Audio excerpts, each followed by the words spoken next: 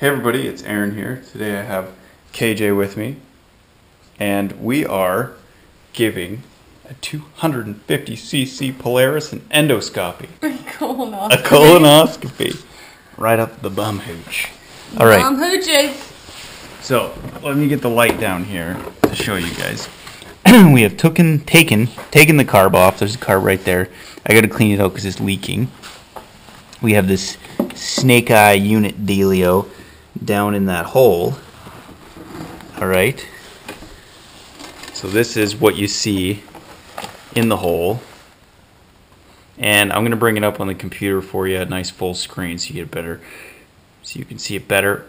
All right guys, this is KJ sticking it in the hole. We're going in carburetor. The carburetor would be hold up, hold up. There she just went through the into the piston. Having a look around. That's all, folks. Clean as a whistle, I tell you. Back it up a bit.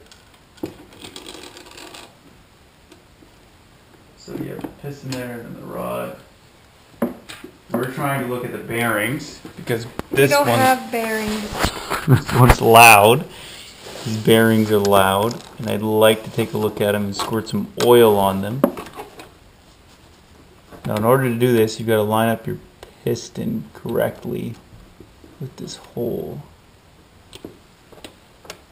Is that a bearing right down there? Interesting.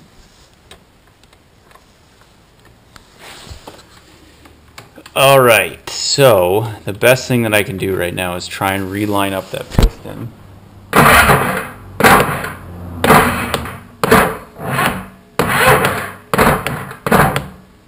There we go. Okay, so that was long and arduous. Now that we're inside, what do we see? All right, I'm going to pull this out.